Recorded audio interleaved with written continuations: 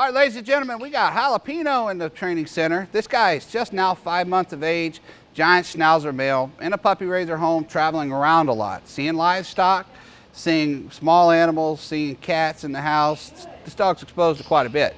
So we're working on just having a little bit of fun in the training center here. You can see the posts are slightly annoying him, but he's still working through it, and that's what it really boils down to. For giant schnauzers, the inside joke here is their first distraction proofing is going to be the ears. You know, they've got a little bit of work to keep those things going. They are healed up and looking very, very, very handsome.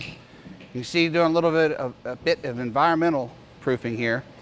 Casey's asking him to keep his butt on the boxes there. Those are hollow boxes. They slide a little bit. They sound weird underneath of his feet. You can see him vibrating, and he's just a little guy when he gets up there. But that uh, all ties into training. Asking him to walk over funny surfaces, start pretty young here Protection Dog Sales. We like our dogs to be very environmentally strong and not upset by anything.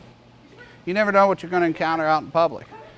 You get a storm grate. Sometimes you get these weird vestibule entrances that have the little grates to knock off the sand or the snow from your boots. So all this stuff's very important.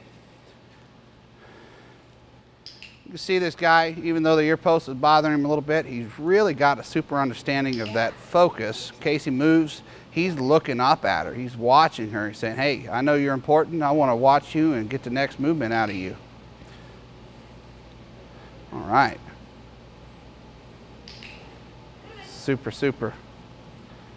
And of course, a little cute imprinting of the Corinne to bed here, which is going to tie into the go to bed exercise as he gets older. So we're going to wrap it up, folks, there. But that's Jalapeno, again, five months old, giant schnauzer male at Protection Dog Sales.